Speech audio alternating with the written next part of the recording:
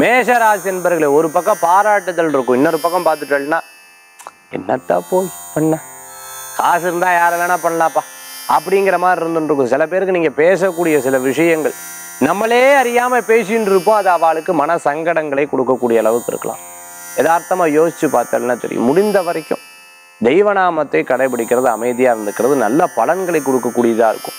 வேலை வாய்ப்பு இல்லாதவங்களுக்கு புதிய வேலை வாய்ப்பு கிடைக்கும் புதிய விஷயத்தை தொடங்குறோம்னு சொல்லிட்டு யார்ட்டையா பணத்தை கொடுத்து ஏமாறப்படாது கவனம் என்பது தேவை. ஆரோக்கியத்தில் அக்கறை தேவை. இன்றைய தினத்துக்குண்டான அதிர்ஷ்டமான எண் நான்கு நிறம் ரோஸ் வழிபாட்டுக்குண்டான தெய்வம் மகிஷாசுரமர்த்தினி வழிபாடு வெற்றி வழிபாடு இன்றைய தினம்.